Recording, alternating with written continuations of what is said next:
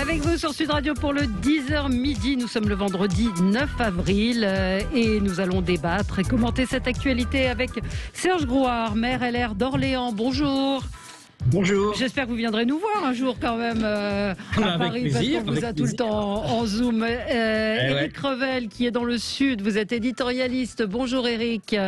Bonjour Valérie, bonjour à tout le monde. Et Alexis Poulain, vous êtes journaliste, directeur de la publication du Monde Moderne. On vous retrouve tous les mercredis euh, pour l'édito politique sur Sud Radio dans la matinale. Et Virginie. Leguet, bonjour. Vous êtes journaliste et éditorialiste politique. Alors la- la- l'actualité, c'est la- l'annonce du président de la République de la suppression de l'ENA. On en a parlé un tout petit peu hier. Et je vous conseille vraiment de regarder ce documentaire demain sur Public Sénat sur euh, ENA, pourquoi tant de haine. Franchement, non, non, mais c'est vachement bien. C'est un documentaire qui, est, euh, qui retrace l'histoire de, de l'ENA et qui montre qu'à travers les, les années, ben, on lui a toujours fait ces reproches-là et que ça a été très dévoyé de ce qu'était au départ euh, l'intention de cette, euh, de cette école. Ce sera donc sur Public Sénat. Euh, on va parler de ça, on va parler de l'AstraZeneca, on n'y comprend plus rien. Euh, si on voulait tuer un vaccin, on aurait- on s'y serait pas pris autrement. Le port du, pla- du masque sur la plage, paraît que ça va devenir euh, obligatoire, que c'est obligatoire.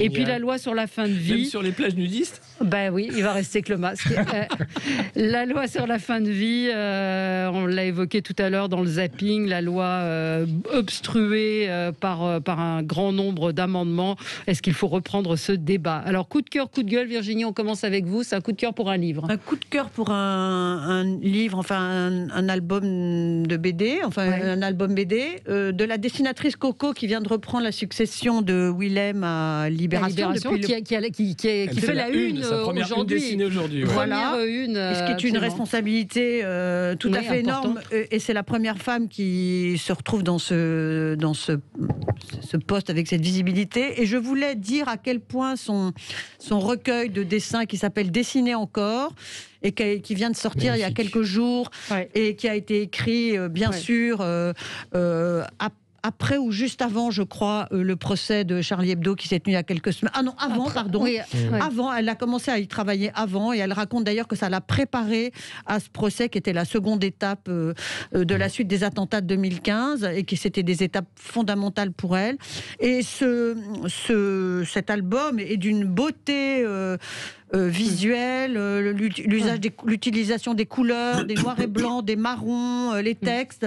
C'est franchement un, un objet que je conseille à tout le monde d'acheter, de garder précieusement chez soi et Ouais. de lire avec beaucoup de, de soin et d'émotion parce que ça déborde d'émotions, de, Il faut de- rappeler que de sensibilité. Il faut rappeler que Coco est celle qui, euh, qui a- Exactement. qui a, ouvert la porte aux, Elle, frères elle- sortait pour aller chercher voilà. euh, un- un- un de ses enfants à la halte garderie. Elle a été happée par les frères Kouachi qui l'ont obligée à remonter, à appuyer sur le, le code et à ouvrir les locaux euh, de Charlie Hebdo. Et Coco raconte toutes ces, ces pages-là, d'ailleurs, sont extrêmement belles. Oui, absolument. Il y a aussi le dessin de Luz hein, que je vous conseille, euh, qui avait euh, publié euh, Indélébile Donc ça s'appelle 2018. Dessiner encore. Ouais, Dessiner Indélébile qui ER était aussi d'une incroyable force picturale, c'était chez Futuropolis, et celui de Coco était effectivement tout aussi puissant, dessiné encore, euh, qui est paru aux éditions Les Arènes.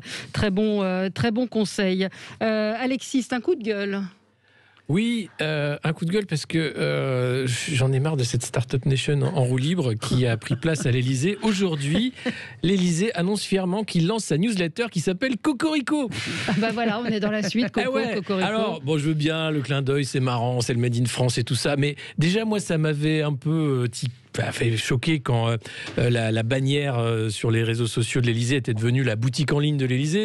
Vous aviez les mugs à l'effigie du chef de l'État, vous aviez plein de trucs rigolos, clin d'œil, etc. Là, quand même, faire une newsletter pour dire tout ce qui va bien, hein, c'est une, une feel-good newsletter de ce qui va bien. Alors, moi, ça m'a fait rire parce qu'en plus. Je veux bien euh, qu'on prenne ça au sérieux. Bon, Ouais. ça ne l'est pas vraiment. Euh, en 98, j'avais inventé un truc qui s'appelait Bravo la France. C'était un site et on avait le Bravo. point panache justement euh, pour aller voir où est-ce qu'il y avait encore du panache dans ce pays. Donc on n'en est pas loin. J'avais un peu, un peu trop d'avance par rapport à ce qui se passe aujourd'hui. On se moquait déjà à l'époque en de chef la- Bah, de, de ce Cocorico. Peut-être, peut-être. Euh, je pense pas, malheureusement, compte tenu de, de mes sorties ici et ailleurs. Mais quand même, il y a quelque chose de, de- de- de- déjà qui était là dans la première bulle Internet, qu'on retrouve toujours dans cette Startup Nation Aujourd'hui de vouloir un peu en rajouter dans le côté potage, clin d'œil.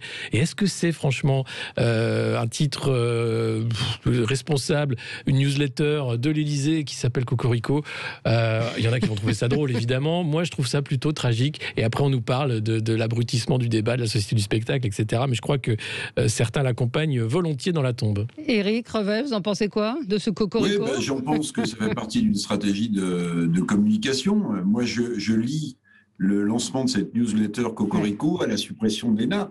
C'est un acte. C'est un acte. Bah, c'est-à-dire que, en fait, le président de la République euh, a commencé sa campagne électorale. Mm. Il essaie de se remettre dans la poche le peuple, finalement. Cocorico, c'est quoi? C'est le cri de ralliement euh, du peuple français. Mm. La suppression de l'ENA, c'est quoi? C'est un symbole, on en reparlera tout à l'heure, jeté euh, en pâture euh, aux, Gilets jaunes. Donc on voit bien que tout ça, en fait, c'est assez charpenté, c'est assez structuré. C'est comment tenter de reconquérir le peuple en lançant une newsletter Cocorico? Mon cher Alexis, si elle s'était appelée Startup France ou Startup Nation France, ah bah. imaginez bien que ça marchait pas. Donc Cocorico, eh bien, Cocorico, ça fait partie, à mon avis, de la stratégie de reconquête tentée par le président de la République en vue de sa candidature à l'élection présidentielle en direction du peuple.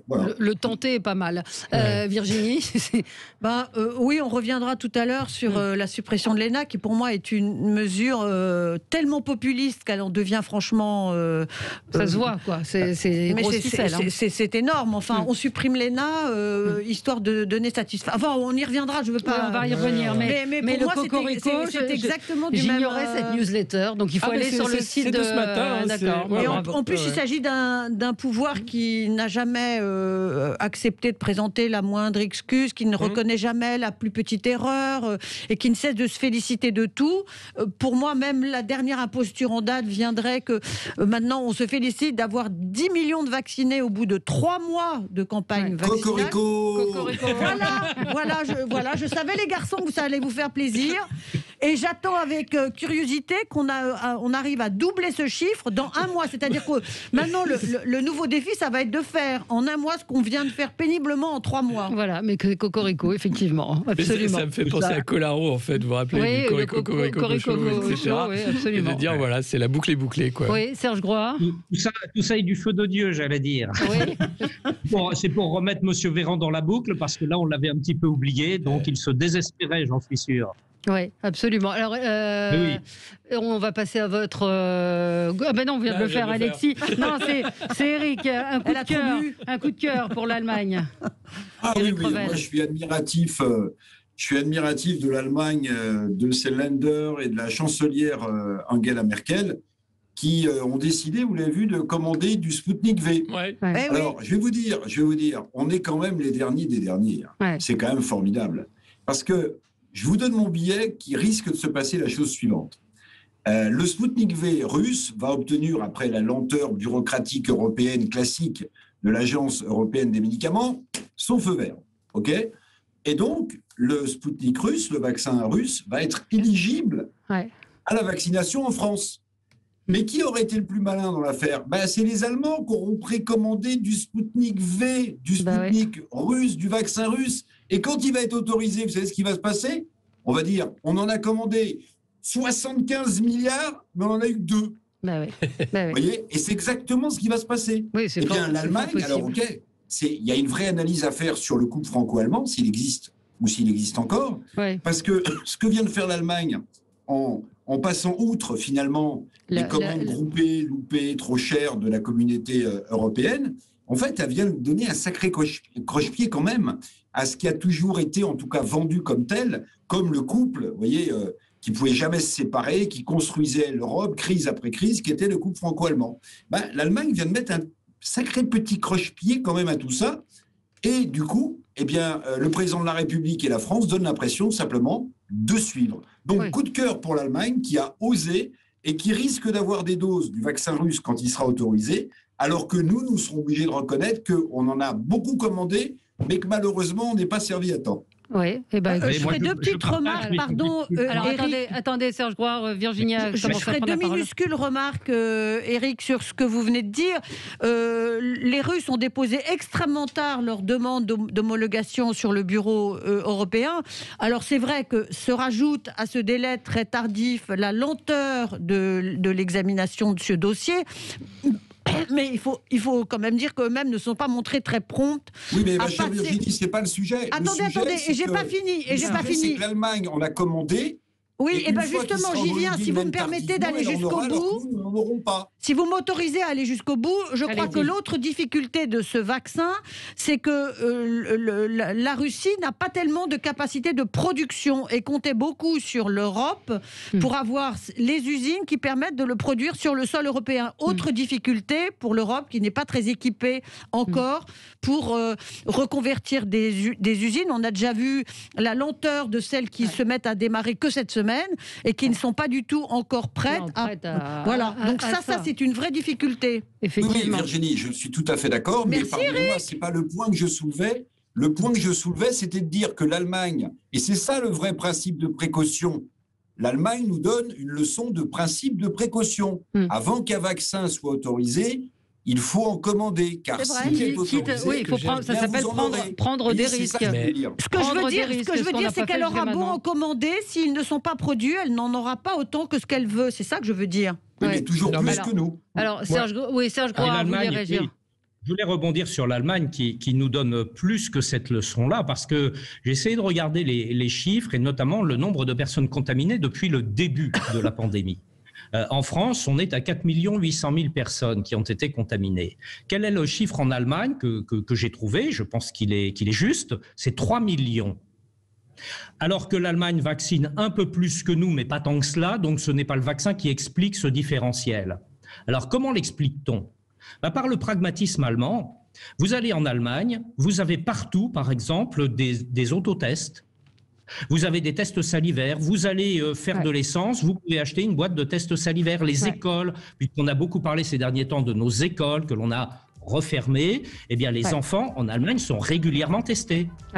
Voilà, et ainsi de suite. Et là, ça montre effectivement que nous, nous sommes dans ce système bureaucratique qui est toujours, toujours en retard. Mm. Il va falloir que l'on analyse vraiment euh, cette pandémie euh, à l'aune du fonctionnement de l'État. Véritablement. On va, on va en reparler dans un instant. On marque une pause, c'est l'heure du journal. À tout de suite sur Sud. Avec vous sur Sud Radio pour commenter l'actualité, pour débattre avec Virginie Leguez, journaliste, éditorialiste politique, Alexis Poulain, journaliste, directeur de la publication du Monde Moderne. On vous retrouve tous les mercredis matins euh, dans la matinale de Sud Radio pour l'édito politique. Éric Revel, vous êtes éditorialiste et Serge Groard, maire LR d'Orléans. Donc euh, euh, on est parti sur le, le, Spoutnik avec Éric Revel. Serge Groard, vous étiez sur l'Allemagne donc qui a anticipé. alors on va, on va revenir sur la suppression de l'ESNA, sur l'AstraZeneca qui, je crois qu'il y a eu une erreur dans le flash. ce sont bien les, les plus de 55 ans qui pourront être vaccinés avec l'AstraZeneca et non pas les moins de 55 ans. Et puis, on va revenir sur la fin de vie. Mais donc, ce, sur, l'Allemagne qui commande, euh, qui prévoit, Serge Grouard, euh, si vous vouliez continuer à, à, réagir à ce que disait Eric Revel. L'Allemagne nous donne une leçon de pragmatisme. Euh, L'Allemagne, je crois que la chancelière, par exemple, travaille régulièrement avec les lenders, euh, qu'il y a des communications permanentes qui sont établies, des échanges, des discussions pour les prises de décision. Nous, tout vient d'en haut, tout le temps, euh, par des gens parfois qui ne connaissent pas la réalité du terrain et qui nous emmènent dans une sorte de toujours en retard c'est un peu comme, euh, j'allais dire, c'est un peu comme le lapin, vous savez, euh, dans, euh, vous savez, ah, Alice au pays des merveilles, le lapin est toujours en retard. Eh nous, nous sommes un peu le lapin, nous sommes toujours en retard. Et la gestion de crise demande au contraire une très grande réactivité, une capacité à s'adapter, une souplesse. Et tout cela, nous ne l'avons pas. Donc, nous avons besoin d'une véritable réflexion, je le redis, je le dis depuis des années d'ailleurs, mais le Covid au moins nous le met en lumière, c'est peut-être un de ses rares euh, mérites, la nécessité de la réforme en profondeur de l'État. Et ça passe par des choses très concrètes, très claires, très précises, comme une décentralisation forte, comme la déconcentration, c'est-à-dire de donner notamment aux préfets davantage de pouvoir dans les territoires. Ça passe par une réforme des cabinets ministériels, euh, ça passe par une réforme de la bah, production. on, va, on va en parler, on va en parler tout à l'heure. Ooh. On va en reparler tout à l'heure avec, euh, avec la réforme de l'ENA. Vous vouliez redire une chose, vous, euh, c'est Alexis Poulain qui voulait réagir sur l'Allemagne et, cette anticipation qu'on n'a pas, nous. Au-delà de l'anticipation, on voit bien qu'en France, euh, on, on, est là, alors avec Clément Beaune et d'autres, tous ces énarques hein, d'ailleurs, qui mm. sont là à dire il faut absolument respecter l'unité européenne, la règle européenne, la Commission, mm. etc., le moteur franco-allemand. Et puis de l'autre côté, outre-Rhin, en Allemagne, c'est bon, bah, on va fermer les frontières, on va commander du vaccin russe, on va demander à Dassault de nous filer des secrets de fabrication aussi, sinon on fera pas d'Europe de la défense. Et on est du côté français, mais vous vous rendez compte quand même? Non mais attendez, c'est le moteur franco-allemand, on a fait toutes ces années, on va pas l'arrêter là. C'est une c'est une légende. Hmm. Je crois que ça commence à se voir. Je crois qu'aussi hmm. l'Allemagne commence à prendre ses distances avec euh, la construction européenne parce que c'est elle qui euh, n'a pas envie que l'Europe s'endette. Elle a mis un frein d'ailleurs euh, au plan de relance qui est un plan d'endettement européen en disant oulala, là là, attendez, parce que vous, d'accord, vous vous endettez, mais qui, qui, est le créancier? C'est nous. Et, le risque, in fine, de, cette crise sanitaire très mal gérée, hein, puisque l'Union européenne n'a pas compétence sanitaire, même si elle va imposer un passeport sanitaire hein, avant, avant la, fin de l'été, c'est que l'Allemagne fasse un German enfin, qui, s'en aille sans le dire. Euh, parce que finalement, euh, l'euro et le marque, c'est la même chose, et qu'à un moment, la dette sera telle des pays du Sud? Que l'Allemagne n'a aucun intérêt à avoir un destin commun avec des mm. pays qui sont en train de se tirer une balle dans le pied. Possible, Eric, ça? Un German euh, bah, y a la question de l'endettement et des critères de Maastricht est, est, clairement posée. Vous savez, les critères de Maastricht, pour ceux qui étaient euh, dans ce hangar euh, au fin hmm. fond des Pays-Bas, euh, au moment où François Mitterrand, dans une conférence de presse très tardive, nous a annoncé la naissance de l'euro, ça c'était la bonne nouvelle. Puis la mauvaise nouvelle, c'était qu'il y avait plein de critères qu'il fallait respecter dorénavant. Hmm. Donc les critères de 3%, les critères de, de 60% pour la dette PIB. Le problème, c'est que tout ça a explosé. Alors on cache derrière l'arbre de la crise sanitaire la forêt de l'endettement, mais c'est vrai que les Allemands regardent ça d'un très, très, très mauvais œil. Hmm. Et où Alexis a raison, c'est que je vais prendre deux, deux, continents, enfin deux, deux États euh, pluriels, les États-Unis et l'Europe. Aux États-Unis, moi, ma fille vit à Boston, ça redémarre, mais plein badin, mais plein hmm. badin. Hmm. Euh, tout a réouvert, l'économie et, l'indice de confiance des consommateurs explose, enfin la résilience américaine. Mais pourquoi? Parce qu'ils ont aussi, Biden, l'administration Biden, voté et mis en application, ils verront comment ils le financent après, c'est eux qui impriment le mm. dollar, ils s'en foutent, 2200 milliards de plans de relance. Mm. En Europe, en Europe, depuis le 21 juillet dernier, on parle de ce plan de relance rien passé. 750 milliards d'euros. Mm. Rien. Rien. Les Allemands, évidemment que les Allemands regardent ça de travers, parce que eux, ce qu'ils veulent, c'est un euro fort sur la base d'un marque fort. La BCE a été construite sur les bases de la Bundesbank, logiquement. Ben, les Allemands, ils regardent d'un très mauvais œil ce qu'on est en train de faire. C'est-à-dire qu'on est en train de balayer les critères de Maastricht, le pacte de stabilité, la rigueur budgétaire. Alors, c'est un constat, je ne dis pas que c'est bien ou pas bien, mais on voit bien qu'il y a une divergence forte mmh. au-delà de, au de cette affaire de vaccin entre l'Allemagne et la France sur l'orthodoxie budgétaire, à l'allemande ou à la française ou les pays du Sud, ceux qu'on a longtemps appelés les pays du Club Med, vous vous souvenez? Oui, oui, absolument. Euh, on va passer au, coup de cœur de, Serge Groir. Juste, euh, je vais faire un. C'est pas de l'acharnement, c'est vrai qu'on en a parlé tous les jours de Paris, de saccage Paris et tout ça, mais là, ce matin, dans le Parisien, on nous apprend qu'il y a deux fontaines Art déco pesant plus de 20 tonnes qui ont disparu, porte de la Chapelle. Alors, elles avaient été retirées provisoirement le temps des travaux du tramway euh, T3, mais ces deux fontaines monumentales de la porte de la Chapelle sont introuvables. La ville de Paris mène l'enquête. Serge Grouard, vous qui êtes maire, ça vous paraît possible que des fontaines pesant plus de 20 tonnes disparaissent? Ah, Écoutez, je vais être un peu superstitieux, donc je vais rien dire, mais ce que je peux vous promettre... Au cas où vos fontaines à vous disparaîtraient à leur tour oui, allez-y. Je suis sûr qu'à Orléans, il n'y a pas de fontaine de 20 tonnes. Ah, allez-y, laissez-le parler. Oui. Oh non, je ne les ai pas à Orléans, ça me paraît quand même euh, un peu surréaliste. si elles pèsent 20 tonnes, euh, il y a des gens balèzes quand même. Hein. Il, y a des, il, y a des, grands balèzes. Hein, il, y a, il, y a, des grands balèzes. Il n'y a pas une erreur, Valérie, c'est pas 2 tonnes ou 200 kilos, 20 tonnes. Bah non, il y a la photo, euh, c'est vrai que ce sont des photos monumentales. Alors c'est extraordinaire, pardon, monsieur le maire. Hein. Je ne savais pas que David Copperfield avait été embauché à la mairie de Paris par Anne Hidalgo. Bah, je ne sais pas, vérifier, mais en tout cas, c'est. Pardon? Elles étaient, elles étaient vides, elles ont été déplacées pour pouvoir ah, permettre le, le, pour pouvoir, euh, mais elles ont dû être stockées quelque part, quelque on ne sait où, peut-être dans, dans le. que je me dis, c'est qu'il y a des travaux, parfois effectivement, on, on enlève du mobilier public euh, le temps de travaux euh, pour le remettre après. Alors en général, on le retrouve quand même. on ne perd pas en chemin. Bon. Eh bien, à Paris, visiblement, elles ont disparu. Mais où est-ce qu'on a bien pu mettre ces foutues fontaines où sont donc passées les fontaines? Voilà, on ne sait pas où elles sont. Voilà, je voulais vous faire végétalisés. Euh, je voulais vous faire, je voulais vous faire sourire avec ça. On va, on va, bah, c'est déjà l'heure de la pub. On va y revenir. Oh. On va, bah oui. Oh, mince. mince. Cocorico, c'est la pub. Allez, un petit cocorico. voilà, ça va, être notre nouveau générique Cocorico. Je vous rappelle cette newsletter euh, que vous retrouvez sur le site de l'Elysée. Oh, on s'amuse bien ce matin. On va parler d'un sujet un peu plus grave, euh, la fin de vie, dans un instant. Avec vous sur Sud Radio, avec Serge Grouard, Éric Revel, Alexis Poulain et Virginie Leguet. Alors, euh, Serge Grouard, votre, votre coup de cœur, on vous écoute. Ah, c'est un coup de cœur pour une grande dame de la chanson française. Je parle de, Françoise Hardy. Oui, exactement. Oui, allez-y. J'ai la de, de, rencontrer un certain nombre d'artistes et je n'ai jamais rencontré Françoise Hardy. Et pourtant, je voudrais lui dire, chère Françoise, je vous connais depuis tout petit. Vous êtes entrée naturellement dans mon monde d'enfant, toute discrétion, et puis vous n'en êtes plus sorti. Avec d'autres, Paul Naref par exemple. Au fond, la maison où vous avez grandi, c'est un peu la mienne. Et de ces artistes que l'on aime, on les pense éternels. Mm. Mais vous, avec l'élégance que l'on vous connaît, vous venez de nous dire ces derniers jours, et, je vous cite, je ne peux pas rester comme ça en attendant que la mort arrive parce que je ne peux plus vivre. Je n'ai pas peur de mourir, mais j'ai très peur de souffrir. Mm. En quelques mots, vous nous avez dit l'essentiel, vous nous avez dit toute votre humanité et la nôtre aussi. Et c'est un combat digne que vous menez là, chère Françoise. Vous dites, quand je l'aurai décidé, laissez-moi partir. Mm. Et moi, je voudrais vous dire, parce que l'on vous aime, on voudrait vous retenir pour encore un premier bonheur du jour ou peut-être un rendez-vous d'automne. Mais parce que l'on vous aime, on voudrait aussi vous aider à ne pas souffrir.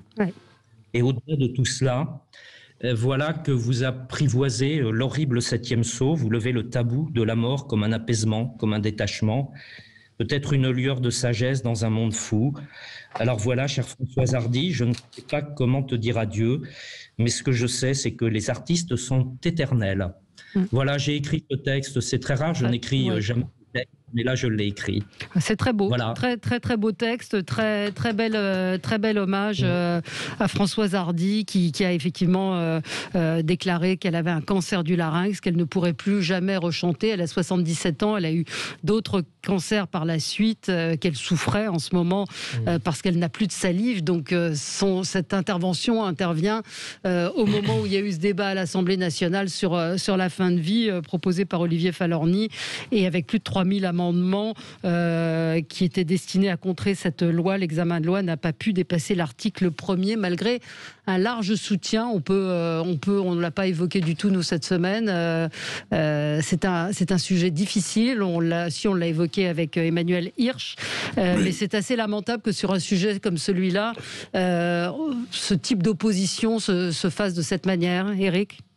Euh, oui, je vais vous donner mon sentiment, non pas sur le fond, mais alors il se trouve que j'en discutais hier avec euh, Jean Leonetti, qui est le maire d'Antibes, mais qui est surtout, euh, qui est surtout le promoteur de la loi Claes-Leonetti, vous vous en souvenez sur l'accompagnement, voilà, c'est pas une loi évidemment sur l'euthanasie, c'est une loi sur l'accompagnement, sur la mise en avant des, soins palliatifs. Hein, dont je ne cesse de rappeler d'ailleurs que c'est François Mitterrand qui a qui a levé un tabou sur les soins palliatifs. Vous vous en souvenez, lorsqu'il était président de la République, il avait préfacé ce magnifique livre de Marie de Henzel, La mort intime, où il parlait du retard de la France, ben, un de plus, pardon, hein, euh, sur les soins palliatifs. Mais pour en avoir discuté hier avec Jean Leonetti, moi, je vais vous dire ce que je regrette profondément. Bon, ces amendements euh, législatifs euh, au nombre de 2300, de 3000, mm. euh, devant lesquels, à la tribune de l'Assemblée nationale, le député Falorni, qui porte ce, projet de loi, a, trôné, bon, oui, d'accord. Mais le vrai sujet, à mon sens, c'est que sur une question aussi clivante, segmentante, et qui, et qui entraîne toute la société française, on est fait l'économie d'un large débat. Moi, mm. je pense que c'est ni le timing n'est pas bon. Le timing n'est pas bon. Enfin, entre la Covid 19, entre l'élection présidentielle, d'ailleurs, on peut se demander s'il n'y a pas un peu des écrans de fumée dans tout ça. Mais le, timing, à mon sens, n'est pas bon, Valérie. Et surtout, cette question est tellement importante et elle est tellement personnelle finalement. Elle est tellement euh, euh, liée intimement à ce que nous sommes et au rapport que nous avons quand on ose aborder la question à la mort, mm. que ça mérite un large débat dans la société française. C'est pas sur, pardon pour Monsieur Falorni que mm. je connais et que je salue en Charente-Maritime, mais ça mérite un large débat. C'est pour moi ça le, vrai regret. C'est pas c'est pas les, petites les, petites euh, joutes euh, parlementaires, voilà. Oui. Bah, je suis tout à fait d'accord avec. Oui, alors allez-y, Alexis Poulain. Euh, désolé, avec Eric, le, ce, qui, ce qui sort de ça, c'est le, le timing, le brouillon, le fait qu'on n'ait pas pris le temps euh, de discuter d'un sujet euh, éthique, moral, philosophique, euh, spirituel, qui est le rapport à la mort de toute une société. Et je trouve qu'il y a eu un, très beau texte de Michel Houellebecq, on aime ou on n'aime pas, sur le danger finalement d'une société qui est prête à utiliser l'euthanasie, alors qu'existent les soins palliatifs. Hein. L'idée, c'est de combattre la douleur. On ne va pas combattre la mort, on va tous mourir. C'est quel rapport on entretient à la mort? Le fait de choisir sa mort, c'est louable. c'est la voie du samouraï, le hagakure, c'est on mm. décide le moment où on veut arrêter. On peut tout à fait le faire et, pourquoi pas. Et pas comme le dit euh, Madame Lefebvre de se jeter du haut d'un pont. Non, mais on peut faire ses beaucoup par exemple. Elle peut prendre un sabre et s'ouvrir le ventre, ça c'est possible, avec un ami derrière. Mais euh, c'est pas le c'est pas le but. Non, pas le sujet. Euh, le sujet c'est vraiment est-ce que on veut rentrer dans cette idée-là de dire on va autoriser ça? Et, Robert Badinter qui a lutté contre la peine de mort le dit attention si on donne ce droit-là à l'État de terminer une vie, même si c'est pour le bien, on donne un droit terrible à l'État. Et, c'est cette question-là qui est au cœur des débats, qui a totalement été éludée. Alors, mm. je veux bien, euh, l'idée est bien sûr d'abréger les souffrances, mais c'est pour ça qu'on a les soins palliatifs. Et aujourd'hui, qu'est-ce qui ressort? C'est encore une fois l'hôpital public en miettes, le fait que beaucoup de services, qui ont encore des déserts médicaux, qui n'ont pas accès euh, à des systèmes de, et des unités de soins palliatifs à la hauteur. C'est ça le problème. Aujourd'hui, les médecins sont déjà euh, dans, dans, cette logique-là de ne pas continuer à tout prix, de ne pas se battre quand c'est nécessaire, mais d'abréger justement les souffrances, et pas les abréger rapidement, mais juste dans le respect de la dignité de la personne humaine. Et on n'a pas eu ce débat, alors que c'est un débat profond. Et, c'est ça qui est scandaleux, c'est qu'on y voit là des manœuvres politiciennes mm, de mm. bas étage. Euh, et, le, débat est totalement oublié, alors qu'il est clé dans, une réflexion globale, sociétale, de qui on est. Mm, Serge Groix, pardon, je, vous ai... je, partage cette... Euh, euh, le fait d'éluder le, débat, je pense que l'Assemblée nationale ne pouvait pas débattre en quelques heures d'un sujet aussi grave. Non. Oui. Je ne veux pas défendre, euh, je n'étais pas à l'Assemblée, je, je n'y suis plus depuis un certain nombre d'années, mais je pense que c'était l'objet aussi des députés qui ont déposé tous ces amendements, c'était de dire euh, ne, ne, ne, passez pas ce débat comme ça en quelques heures, il faut que l'on y revienne plus, plus sérieusement. En tout cas, moi, je l'ai interprété comme ça, je me trompe peut-être, mm. et je pense effectivement qu'il faut que cela revienne. On voit bien, l'attente aussi de citoyens, on voit bien la gravité de, de la question, mais, mais, je crois que derrière, il y a tout de même le droit de chacun de, de disposer, d'avoir sa liberté profonde et la liberté du choix.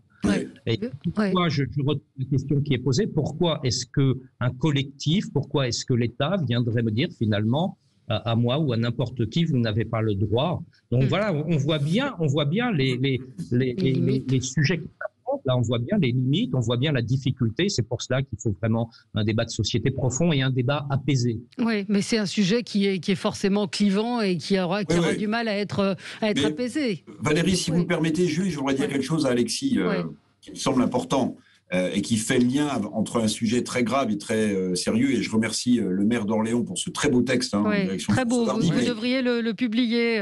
Oui, mais, mais, pour, lier, pour lier quand même le débat sur l'euthanasie, euh, voilà, à la sauce belge, pardonnez-moi, euh, à ce qu'a dit euh, Alexis Poulain, qui n'est pas dénué de, de, vérité, mais qui est un peu biaisé quand même, sur le problème qu'on a dans nos hôpitaux, c'est que on parlait de l'ENA tout à l'heure et de la réforme de l'État. N'oubliez jamais, mon cher Alexis, mais je suis sûr que vous le savez, que 35% de la fonction hospitalière, ce sont des administratifs. Oui.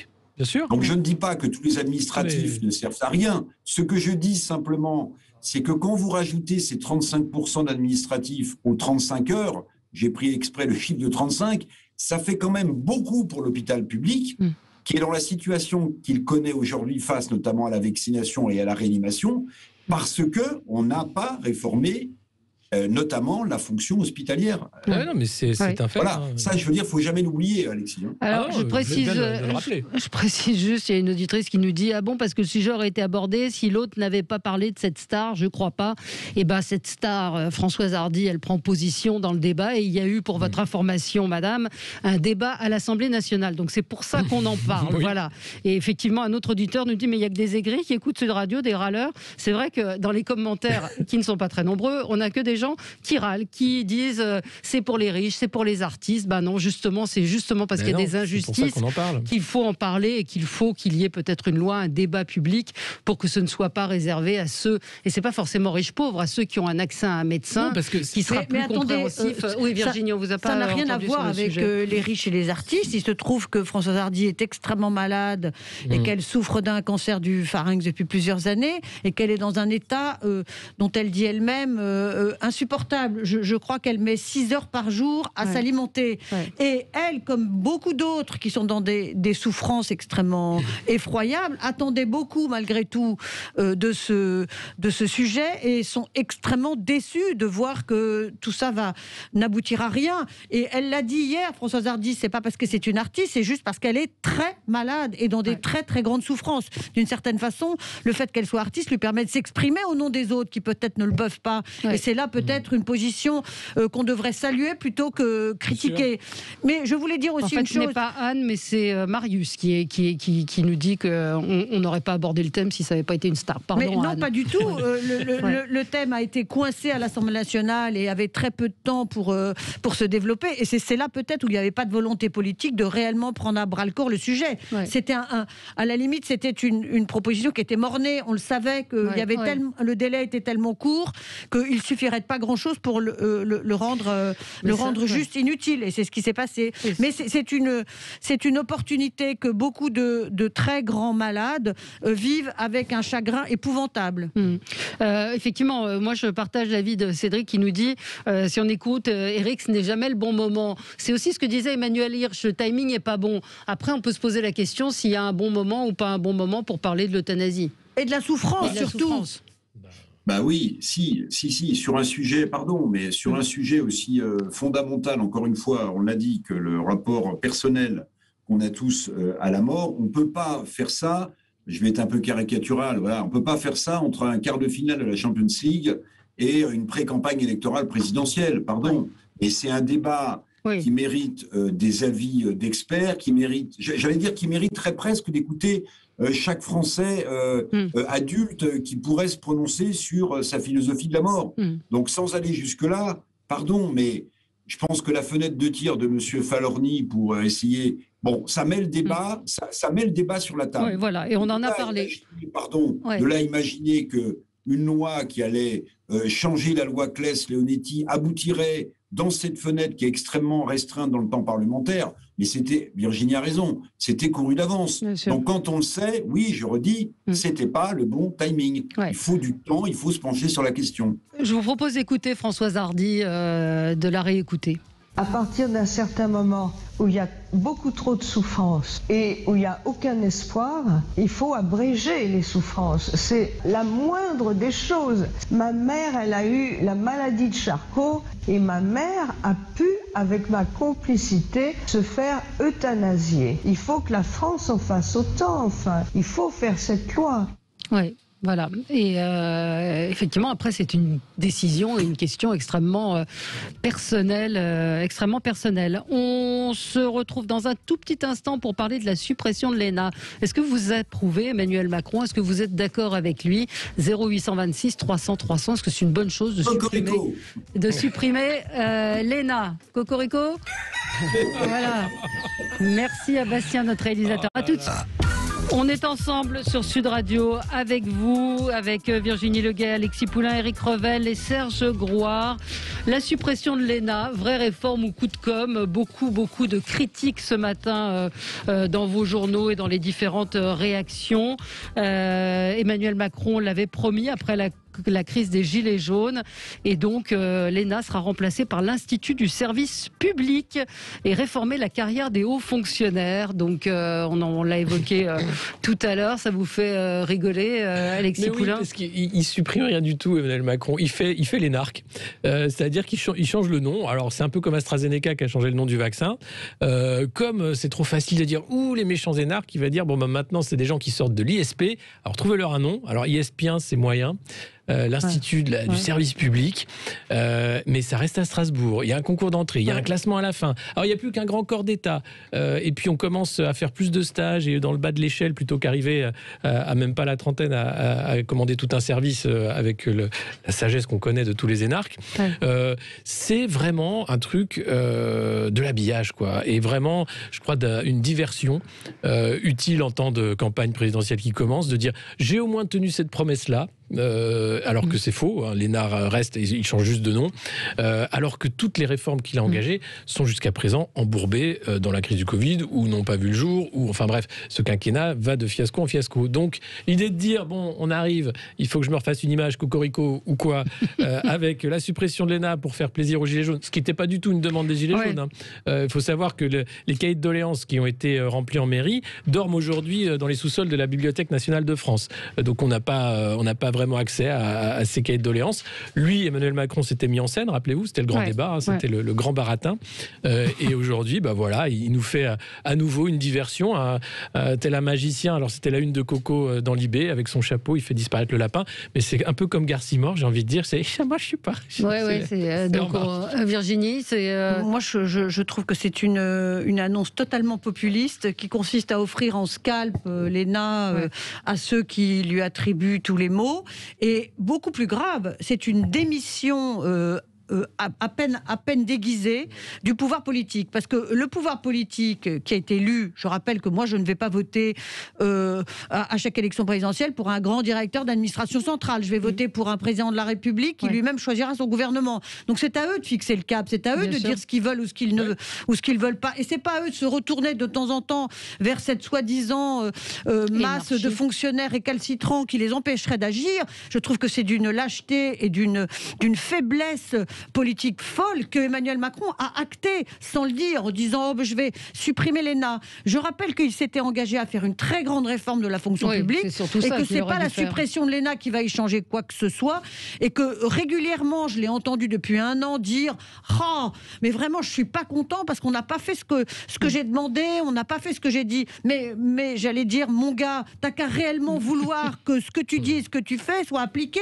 Les, les hauts fonctionnaires devant lesquels soi-disant tu es impuissant, euh, agirait autrement s'il sentait en toi une détermination sans faille. Mm. Peut-être que tu ne sais pas toujours où tu vas et que peut-être que l'administration, du coup, elle s'engouffre dans ses, failles et ses interstices. Mais un pouvoir politique fort doit pouvoir être capable de diriger une administration. Oui, et, reporter euh, toute la responsabilité sur cette école, en faire un symbole et quelque chose de. Surtout quand on en vient, enfin, c'est très, très facile, on l'a fait soi-même.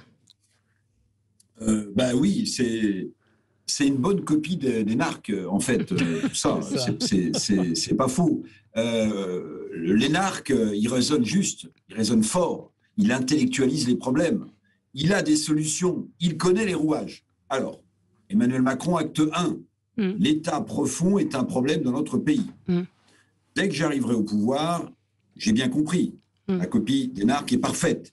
Je réformerai l'État, et comme ça prendra un peu de temps, d'abord, je changerai tous les directeurs des administrations centrales, car il n'est pas normal que des énarques, les mêmes, succèdent, quelle que soit l'alternance du pouvoir politique, à d'autres énarques. Hmm. Bravo, très très belle copie d'énarques. Emmanuel Macron. Mais dans l'action, dans l'action, qu'est-ce qui s'est passé? Rien. Rien. Rien, rien, rien, rien depuis 4 ans. Les directeurs d'administration centrale n'ont pas été changés. Non. Mais sont toujours les mêmes, quel que soit le pouvoir. Je vous raconte cette anecdote, si vous me permettez. Jean Arthuis, vous vous souvenez de Jean Arthuis Ministre des Finances. Un jour, il me fait cette confidence. Il me dit, quand je suis arrivé à Bercy, j'ai demandé dans les premières semaines hum. qu'on me donne la grille des salaires et le nombre de fonctionnaires qu'il y avait à Bercy. Jean Arthuis a quitté Bercy un an et demi plus tard, il ne l'avait toujours pas. Mais c'est pire que C'est ça, je veux dire, c'est résumé. Donc, si vous voulez euh, jeter en pâture les énarques, moi je peux le faire, etc. Euh, Mais c'est pas ça qui va euh, alléger la bureaucratie française. Exactement, exactement. Vous, comprenez que ce qu'a dit Virginie est un exemple très concret et très juste. Emmanuel Macron ne comprend pas, visiblement à l'Élysée, pourquoi quand il dit on va vacciner samedi, dimanche, lundi, mardi, matin et soir, vacances, ça ne fonctionne pas.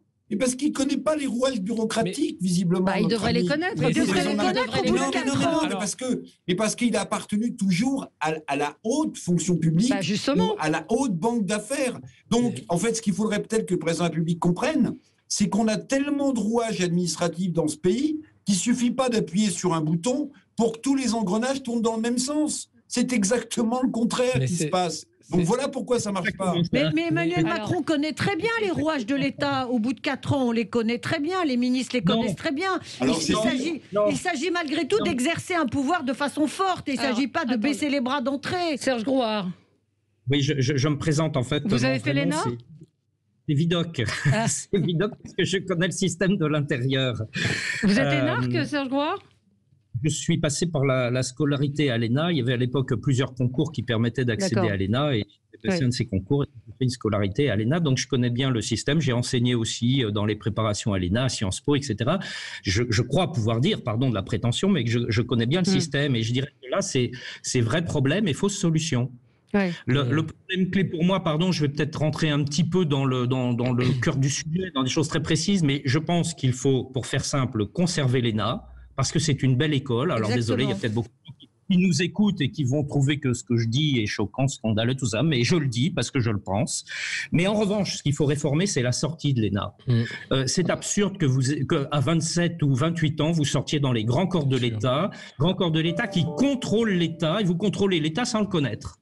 C'est ça l'absurdité. Après, vous avez une carrière toute déroulée devant vous, où vous êtes effectivement, comme il vient d'être dit dans ce débat, dans les, dans les sommets de l'État, mais vous n'avez jamais vu ou presque la base. Et, je suis au regret de dire, vraiment, je suis désolé, mais les ministres ne connaissent pas, ne connaissent pas l'administration. Moi, j'ai été fonctionnaire. Mm. J'ai, euh, euh, j'ai vu passer un certain nombre de ministres. Mm. Euh, je sais comment faire pour orienter le ministre. Alors, mm. c'est pour cela que je je dis que je suis vidoc. J'ai vu toutes les arcanes administratives, et c'est pour ça tout à l'heure je disais il faut réformer l'État, mais comme vous disiez, oui, le réformer vraiment. Vraiment. Bien sûr, bien sûr.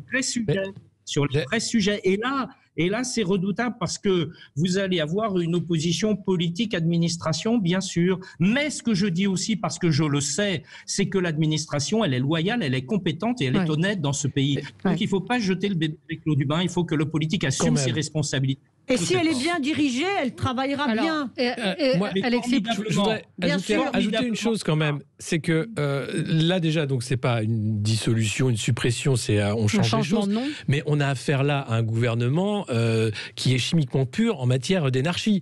On a un président énarque, un, premier ministre énarque, des, un secrétaire adjoint général de l'Élysée, pardon, énarque, un directeur de cabinet du premier ministre énarque, plein de ça, ça s'est jamais vu. Là, toutes les planètes sont annihilées. C'est le gouvernement qui coûte le plus cher de la Ve République, le gouvernement Castex, et vous voyez les résultats. Ouais. Voilà. Ouais, ouais, mais c'est euh, la une de c'est la une de et le dessin de, de, Coco, la une de Libération où on a un Emmanuel Macron qui sort euh, un, bonhomme du chapeau en disant et hop je suis à trois je supprime l'ENA et derrière lui une porte ouverte avec des masques, des seringues, avec euh, tous ces placards encombrants pour le chef de l'État. Et puis ce tweet de, que je viens de voir de, Rafik Smati qui retweet Jean-Baptiste Djebari, notre ministre ah. des Transports, qui dit trop lent, trop compliqué, trop cher. Il y a beaucoup de freins à l'innovation. C'est pour les lever que j'annonce aujourd'hui la création de l'agence de l'innovation pour les transports. Et encore un machin.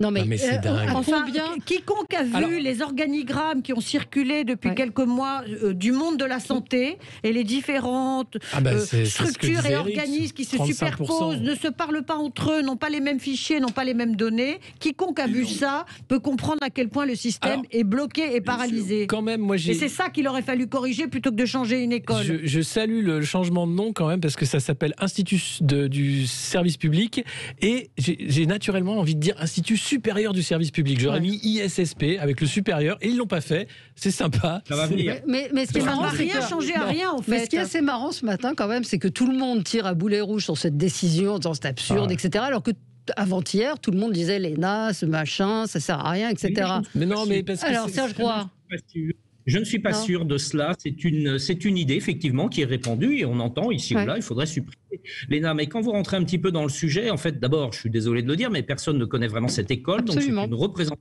que l'on a. On ne sait pas ce qu'on y fait ou ce qu'on n'y fait pas. On ne sait pas vraiment qui en sort parce qu'on parle de quelques, j'allais dire, têtes d'affiche. Mais si aujourd'hui la haute administration, l'administration française, elle tourne quand même, c'est parce que bah, il y a des gens qui ont de la compétence, etc. Alors je veux pas faire esprit de corps et défendre tout ça. Je ne défends pas. Je vous ai dit, je suis vidoc, mais il faut faire la part des choses. Là, il faut du discernement dans ces réformes. Et pour cela, j'en suis persuadé, il faut connaître de l'intérieur. L'un des drames, c'est que l'on a des gens qui euh, décident et qui ne connaissent pas qui ne connaissent pas. Il faudrait pouvoir commencer par faire un certain nombre d'années dans la fonction publique. Moi, tout à l'heure, quand je vous parlais, vous m'avez demandé si je suis passé par cette école. Franchement, là, je vous interroge tous les quatre. Est-ce que vous auriez dit oui ou non? Vous auriez dit non? Non. Vous voyez, tout, tous les Ah non, moi j'aurais dit oui. Mais, ah, mais, encore une fois, regardez ce formidable documentaire demain sur Public Sénat. Alors, c'est à 21h, vous pourrez le voir en replay, mais, mais on y apprend que 90% de, ceux qui, passent par l'ENA euh, se retrouvent dans l'administration à des, à des postes euh, importants, mais pas avec, des, pas avec les salaires du privé, et que c'est assez loin finalement de, de l'image qu'on en a. Il y a 3% seulement qui, des, des, énarques qui sont politiques, 3 ou 5%, je ne sais plus exactement du chiffre. Et, c'est vrai qu'il euh, y a Jean-Pierre Chevènement qui s'exprime, et ça donne une autre image de cette école. Euh, le, documentaire commence en disant cette école qu'on adore détester, on, finalement on la connaît assez peu, et on connaît assez peu euh, le, le, fonctionnement il faut connaît que les grands corps, c'est-à-dire ceux qui sortent des grands corps, l'inspection générale, le, non, c'est les grands corps, c'est le Conseil d'État, c'est le Conseil d'État, l'inspection générale des finances, c'est ça. C'est ce que je viens de dire, et le Quai d'Orsay. Non, pas le Quai d'Orsay. Non, non, le Quai c'est pas parti. Non, non, c'est pas le Quai d'Orsay, c'est le Conseil d'État. Serge Grouard, Conseil d'État, Conseil des. Inspection des finances et Cour des comptes. Et Cour des comptes, il n'y a pas le Quai d'Orsay. Allez. Mais il faut, il faut rappeler quand même qu'à l'origine, c'est De Gaulle hein, qui crée cette école moderne, hein, ouverte aux femmes, etc., pour éviter la débâcle de 40, pour éviter un gouvernement qui se mettrait à genoux et collaborer avec. En disant, en disant il faut justement un État fort, hmm. il faut créer des hauts fonctionnaires qui auront euh, une colonne vertébrale solide. Et, voilà où on en est aujourd'hui à faire un ISP euh, qui va être on ne sait quoi. Allez, on, a eu un État fort on a eu un État fort qui a fonctionné du feu de Dieu dans les années 60, puisque vous citez le général de Gaulle. Et le général de Gaulle a eu une administration à sa disposition qui lui a permis tout simplement de redresser la France. Absolument. On marque une petite pause. Restez avec nous sur Sud Radio. À tout de suite. Débat. Avec vous sur Sud Radio, on est ensemble jusqu'à midi. Nos auditeurs sont un peu dubitatifs sur cette suppression de, de l'ENA. Euh, effectivement, ce, bien raison. ce pays est pourri par son administration et à tous les niveaux, même la gestion des villes moyennes est un florilège de gâchis. Euh, bon, je ne vais pas continuer de payer à rien foutre. Un bon coup de balai, mais qui aurait le courage de tenir le manche? voilà. pardon? Serge Groix, euh, vous êtes une, ville. Je, je, voulais que je fasse mon autopub là. Voilà, faites votre autopub. Euh, allez, on a Jean de Longjumeau qui voulait réagir à cette suppression de l'ENA. Bonjour Jean. Oui, bonjour. Comment ça va? Vous êtes restaurateur, vous êtes un fidèle auditeur de Sud Radio. Comment vous vous en sortez déjà? Bah, on est sous perfusion, donc on attend. Mmh. Bon. Euh, une date. Mais bon, moi, moi, à titre personnel, je, ne, je ferai de la vente emportée, mais j'arrête la restauration. J'ai commencé à 14 ans, je vais pas refaire ma vie à 62. Ah oui, donc, euh, c'est ce que l'État va me proposer de faire, c'est de repartir plein de dettes et, de, et de redémarrer mon activité comme il y a 35 euh, ans. Donc c'est non. Donc, donc, donc, vous allez arrêter vente à emporter, toujours la passion de la cuisine, parce que c'est, j'ai besoin de, j'ai besoin de cuisiner, j'adore ça, c'est vraiment ma, une passion comme un peintre, mais, mais la restauration, retrouver euh, tous les emmerdements euh, qui vont être multipliés par 100, donc euh, non. mais je crois que je suis pas tout seul, on est tous en pleine réflexion. Le personnel, on ne sait pas où il va être, on ne sait pas ce qu'il va abandonner aussi, donc non, c'est c'est plus dangereux que la fermeture, la réouverture, je crains malheureusement, même si tout le monde a envie de prendre un café sur une terrasse mais un café pour nous sauver, ça suffira, ça suffira pas. Bien sûr. Vous vouliez nous, nous parler de l'ENA? Oui, bah, je, je, trouve, bah, c'est pas, je suis pas, je suis pas nouveau par rapport à tout le monde. Je pense que c'est effectivement quand on dit qu'il y a une connerie qui se fait en France, on dit que c'est un énarque.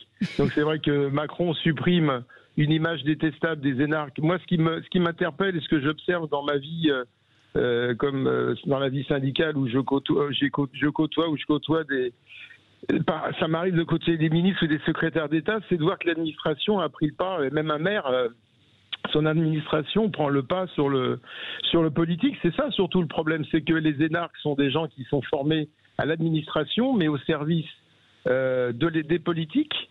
Euh, ils sont là pour les conseiller, ils sont pas là pour prendre des décisions à leur place. Moi, j'ai connu une attachée parlementaire d'un député dans mon département et qui était a, été aussi ministre sous sous sous Raffarin et qui me disait moi je suis une technicienne, je suis là pour dire à la personne qui est mon employeur, c'est-à-dire le député, vous voulez faire ça, voici telle, telle, telle solution, maintenant c'est vous qui prenez la décision, c'est pas moi. Et aujourd'hui, je crains que souvent, euh, c'est le permanent, le, enfin le fonctionnaire qui prend des fois les décisions. Et j'ai entendu Julien Drey il n'y a pas très longtemps qui a donné une, définition assez, assez terrible, qui disait quand un ministre arrive dans son ministère, l'administration du ministère va d'abord le jauger, c'est-à-dire que dès qu'il va arriver, le ministre va dire voilà je voudrais faire ça, on va lui dire c'est pas possible. Et ils vont assister jusqu'à temps pour voir si le ministre, il, on va dire s'il a des couilles, s'il va jusqu'au bout, s'il va jusqu'au bout, s'il va plier, est-ce qu'ils vont, ils vont qu'il faut que d'abord le ministre se fasse respecter de son administration. Et j'ai trouvé ça euh, pour quelqu'un qui a un mm. parcours politique qui connaît bien le sujet. Et j'ai déjà entendu d'autres. Donc c'est l'administration, l'ENA. Et là, bon, va, Macron, euh, effectivement, il c'est un gadget, quoi. Je veux dire, c'est vrai quand on dit euh, ça a été mal fait, c'est forcément été fait par un énarque parce qu'on suppose que l'énarque va tellement calculer la chose que avant de mettre un coup de bêche dans le champ, il va y réfléchir 50 fois. Euh, alors que nous, c'est vrai qu'on est peut-être plus pragmatique, mais je veux dire, c'est une image. Il, veut enlever une image, mais enfin, c'est comme la. Mais vous vous dites que, que la, les taxes, hein, elles changent de nom. Je veux dire, la, la comment je veux dire la, l'école, l'impôt qu'on avait sur les euh, pour, pour pouvoir travailler, il a été modifié. Ça s'appelle ça s'appelle autrement. Hein. Oui, c'est ça. C'est uniquement un changement d'intitulé. Euh... C'est cosmétique. Ouais, c'est bon, euh, c'est la... pas trop l'intérêt en ce moment, quoi. On s'en fout un peu. Hein. Oui, on s'en fout. Oui, alors effectivement, c'est est-ce que ça fait diversion euh, Merci, merci Jean et bon courage pour faire diversion en fait. complètement, aussi. mais ce témoignage. Euh, c'est jeter un os, c'est ce que disait Virginie, jeter un scalp. C'est jeter un faux scalp puisque tout va continuer comme avant à peu près. C'est une stratégie vraiment politique politicienne assez, assez mal faite, euh, avec des gros sabots, euh, qui, va, qui va sans doute faire boomerang parce que c'est ridicule d'annoncer ça maintenant. Euh, en plus, en disant fonctionnaire, tenez bon, alors qu'on sait très bien que l'État va, va, couper dans la fonction publique, va tout faire pour réduire les dépenses parce qu'on est endetté comme on ne l'a jamais été. Et cette dette, qu'est-ce qu'elle fait? Elle va créer des faillites. Vous avez entendu Jean? Il a dit je ne vais pas recommencer. vous voyez maintenant, ça commence dans les rues des villes, les, les, boutiques à louer, à vendre. Ça y est, c'est parti ça ne rouvrira pas. Euh, et, même si Bruno Le Maire, qui était sur cette antenne ce matin, attend le rebond hein, avec des chiffres euh, imaginaires en disant que ça va redémarrer fort et vite, je crois malheureusement que là, on s'enlise dans une crise de long terme euh, avec, avec une faillite organisée. Oui, Eric oui, non, un énarque vous ferait remarquer, mon cher Alexis Poulain, un énarque vous ferait remarquer que ce n'est pas la dette qui va créer des problèmes aux entreprises, mais c'est le manque de chiffre d'affaires ah bah et les difficultés à rembourser le fameux prêt euh, garanti par l'État. Bah donc, Sur le rebond de l'économie française, euh, bah, écoutez, en tout cas, je pense que le ministre, euh, j'ai écouté évidemment sur Sud Radio ce matin, mais Bruno Le Maire qui était invité. Le passé lui donne raison. Regardez ce qui s'est déroulé au mois de juillet quand on a cru qu'avec l'été, on pouvait danser jusqu'à l'infini, euh, l'économie française a, rebondi. On est sur une récession quand même en 2020 de moins 7, moins 8%. Là, euh, les chiffres de Bercy ont été revus un petit peu à la baisse. On est sur une croissance de 5%. Mais si c'était le cas en 2021, euh, ça peut être un très, très, très joli rebond.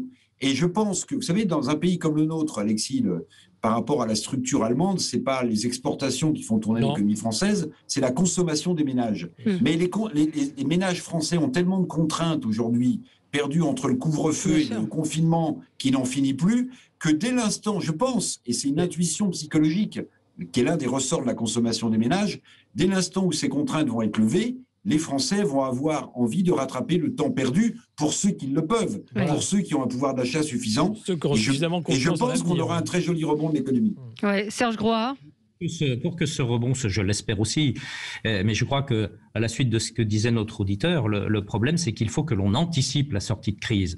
Or, on est toujours dans la gestion de crise, le vaccin, il a raison parce que c'est essentiel, mais il faut l'anticiper. Maintenant, il faut donner une perspective. On a quand même maintenant à peu près l'idée du quand on va sortir de la crise avec la vaccination. Et donc, il faut la préparer dès maintenant parce que moi, ce que je crains, c'est la casse en route et, et ce qui a été dit, ben moi, je repars pas, je recommence pas parce que euh, ça vaut pas la peine. Et ça, on risque d'avoir ces défaillances en cascade et pour les empêcher, pour les limiter en tout cas, il faut qu'on anticipe maintenant. Et ça, je ne le vois pas non plus. Puis je voudrais dire une sur ce qui a été dit parce que ça me paraissait très intéressant euh, quand euh, notre auditeur a, a, dit finalement les ministres ne dirigent pas, c'est l'administration eh qui dirige il a raison. Il a en partie raison. Il a en partie raison, mais trop souvent raison. Et cela, il y a, deux réponses. C'est un, la compétence de celles et ceux qui dirigent, qui sont, qui sont dans les ministères, qui sont ministres concrètement. On a, on a des savants équilibres quand on nomme un gouvernement. La question de la compétence, elle intervient quand même souvent en dernier ressort, excusez-moi de le dire. Et puis, il y a la question fondamentale de la durée. Hum, quand, combien a-t-on eu, par exemple, de, de ministres de l'Intérieur depuis le début de ce, de ce quinquennat? Bon, combien il y a eu de ministres de l'économie et des finances? Ça ne fait que passer. Donc l'administration, elle a la durée pour elle. Donc le ministre, il passe, à peine est-il arrivé qu'il est déjà reparti. Comment voulez-vous qu'il s'installe? Comment voulez-vous qu'il dirige son ministère? Il faut de la durée. Les ministres devraient être nommés pour la durée d'un mandat, sauf problème, évidemment. J'ajouterais une chose, moi, qui, me paraît euh, tout à fait aussi grave, c'est que un ministre qui vient d'être nommé et qui tient à le rester le plus longtemps possible ne prend pas forcément le risque de se heurter à son administration, de transformer son travail au ministère euh, euh, en guerre de tranchées avec une administration qu'il voudrait absolument mettre au pas. Et quand il constate qu'il y a des résistances, assez facilement, il se dit hmm. tant pis, je gagne du temps, je reste là où je suis et je ne prends pas la situation à bras le corps. Moi, je trouve que depuis peut-être plus longtemps qu'on ne le pense, mais en tout cas depuis quelques années de façon extrêmement visible, il y a clairement une démission politique face à l'administration, parce que les politiques sont dans un calcul de carrière, un calcul de nomination, un calcul d'avancement, alors que l'administration, elle se dit, moi j'ai vu passer je ne sais pas combien de ministres, ou j'ai vu passer je ne sais pas combien de présidents de la République, je n'ai peur de personne. Et les hommes et les femmes politiques, malheureusement, ont d'autres soucis que de se heurter à ce qui effectivement peut apparaître comme une résistance quand ils arrivent à leur poste. Oui, alors on, va dire quelques mots euh, donc de ce, de ce sujet. Euh, la carte des départements où le masque sur la plage est obligatoire, là aussi on est un peu... Euh, chez Ubu, hein, parce que vous avez du rouge, du vert et du orange. Donc le vert, c'est vous n'avez pas besoin de porter le masque, donc c'est Calvados, Manche. Le rouge, c'est la Somme. Alors la Bretagne, c'est compliqué parce que les Cordes d'Armor, l'île-et-Vilaine, euh, la Loire-Atlantique, euh, certains m'en voudront dire Bretagne, c'est rouge, ah. mais le Finistère tout au bout, c'est vert. La Gironde, les Landes, c'est vert, mais la Charente-Maritime, c'est orange. Et, et, quand c'est orange, ça veut dire que la réglementation est différente selon les communes. Donc vous avez intérêt à, à bien non, mais, la loi. non, mais attendez, c'est absolument, enfin, c'est ridicule, c'est ridicule. Là, je suis dans le sud euh, en ce moment. Euh, bon, bah, c'est quand même absolument ridicule. Moi, ce que je soupçonne, je vais vous dire, c'est que ce soit un argument euh, qui soit passé auprès de la décision politique de ceux qui produisent des maillots de bain, vous voyez, parce que dorénavant, il faut le dire, il faudra avoir son masque en tissu de, du même tissu, du même coloris, du même motif que son maillot de bain. Ce sera d'un effet éblouissant. Mais c'est pas possible, enfin. Non, surtout comment tu te baignes avec un masque, quoi. Alors, ouais. problème lourd, c'est. Et avec un tuba, c'est compliqué. Comment on bronze Comment on bronze Serge Groire. Crevel, là, je comprends le, le, le, le, triptyque, là, finalement. Hein. Euh, mais comment on bronze? Parce que c'est ça le problème. Vous bah. imaginez, vous avez votre masque et après vous l'enlevez et vous êtes tout blanc là et, puis le reste. Moi j'ai hâte de voir Eric Revel avec son tuba, son masque, son maillot de bain, partant fièrement vers la mer. Promis, vous savez qu'on se baigne quasiment tous les jours dans les Alpes-Maritimes. En tout cas, en ce moment, je vous enverrai une photo. Ah oui. Peut-être ah pas avec un tuba, mais je mettrai un masque exprès pour bah voir. Oui, oui, non, vous laissez avec plaisir. Vous faites quoi Vous mettez un sac plastique pour mettre votre masque bah, quand vous allez vous baigner Vous faites comment Non, non, moi j'ai une méthode parce que je fais très attention à ce qui ne tombe pas dans l'eau, justement. En fait, je l'attache avec un des, des, lacets de ma chaussure. Et, le masque. et juste. Euh, avec mes chaussures.